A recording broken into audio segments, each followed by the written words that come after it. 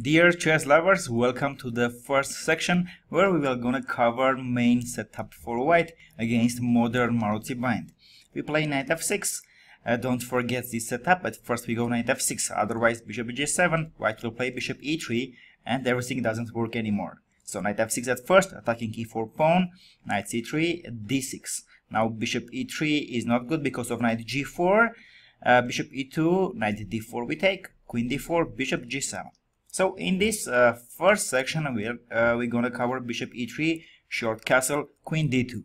White should start with bishop e3, otherwise if short castle, short castle, now their normal move bishop e3 with idea queen d2 is not possible anymore because bishop e2 will be met with knight g4, attacking the queen and the bishop. So uh, instead of castle, uh, white should hurry here, bishop e3, short castle, and now queen d2. Now knight g4 is already coming, yeah? So queen d2 right now. And here we do a5, uh, strong move.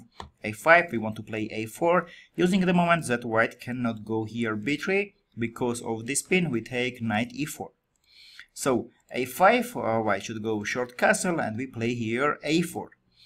Uh, a4, queen is going to a5, the normal move for white is f3, protecting the e4 uh, pawn and making e4 knight free. Here we play queen a5.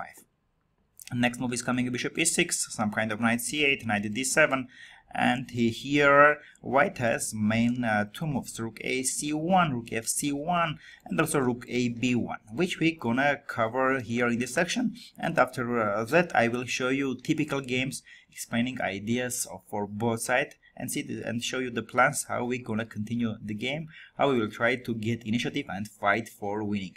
As uh, my approach is this no matter we are playing with black here we will try to do everything to win the game. So let's go